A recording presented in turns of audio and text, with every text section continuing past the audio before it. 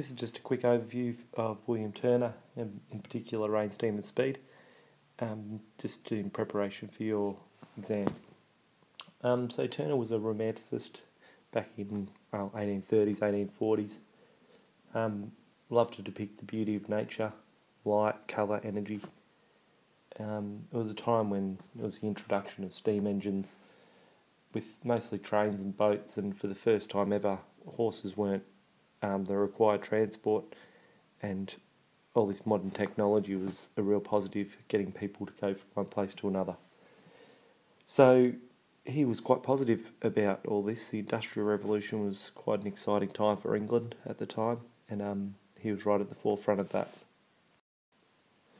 So Turner lived in the age, um, I lived in London, right in the heart of it. Um, would have been pretty accustomed to um, seeing the boats going up and down the Thames. So this painting is of the Thames, um, which is the main river that runs through London. Um, two bridges here, you can see one there in the distance, and also this main one. Um, and showing the train coming towards us. Everything's obviously quite um, impressionistic, very loose brushstrokes. But you can even see a little boat here, just in the um, bottom part of the picture. So I've written purpose up here um, in the top. Um, I've just already told you how Turner was very positive towards um, railways and the advent of new technology. So it really comes down to how you can talk about this in um, and his technique, his style, in this positive way. With respects to style, Turner was a romanticist, so you should really look that up, find out what their main focus was. Um, his technique is also one if you put in Turner technique, you're going to get pages and pages of information on how he was able to create his vortex, how he was able to use all these warm colours against the cool and create this real swirl of energy. Um, this down here, um, the really strong brush strokes, even though a bit distorted with this pixel, but um, he was also able to create a real strong energy in his artwork too by the use of the warm against cool. Um, he's also got, um, with respect, respects to the technique composition, um, uses blacks in here, um, which is not that common for romanticists or anyone, but the big black part really makes it a major focal point. Something I'll talk about in a minute.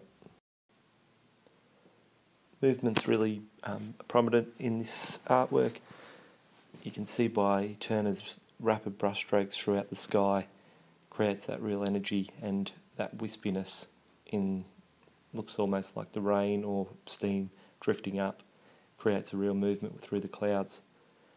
You can also see um, the train coming towards us and even the railway tracks coming towards us really brings us into the piece and also creates a lot of movement for our eyes bridge here in the foreground, oh, sorry, in the midground. Also directing our eyes along that bridgeway and towards the start of this train, where our eyes again move towards um, the front of the picture. Colour plays a big part in any artist's work. Turner's definitely no exception. If you look up his style, technique on the web, you're going to find pages of how he uses colour. In this piece, no exception, he is uses his warm and cools um, quite famously through here. He also uses real strong intense colour in certain parts and yet lets our eyes drag along into these open areas which is uncommon for a lot of artists but he would use that big swirling sky just to let the viewer's eyes dance around. Um, his use of the black bridge is pretty important in this piece. You can see how he really wants to make that train a focal point. He surrounds it all with a lot of energy and the train moving forward with this big dark shape coming at us really wants us to see that that train is important to the piece. This is only a quick review, but shape is probably another one that I would look at. You've got the archways very calmly sitting in the back obviously it's to try and just depict a normal bridge, but you also have this semicircle shape which is really different to the swirls and random almost expressionistic light that's going around the artwork and this really strong bridge structure, strong diagonal shapes coming at us really creates a focal point for that train and also um, makes the advent of technology even more superior where it is structure versus nature. So shape does play a part. Summing up as always, Turner has tried to create a really energetic, positive piece with um, the advent of trains. So look at his style, look at his technique. In the exam, you will be asked potentially these things, and you also need to know how to discuss the elements and principles that is used within this piece to make it look so positive. And good luck. Um, this artwork is Dudley, um, 1832 by Turner. In the essay, you do have to talk about, in the exam, you do have to talk about two artworks by each of the artists. I've decided on this one because it again depicts industrialisation almost at its heart. Dudley's a little town um, they're very much known for being at the centre of the Industrial Revolution. Turner went there and was inspired by it.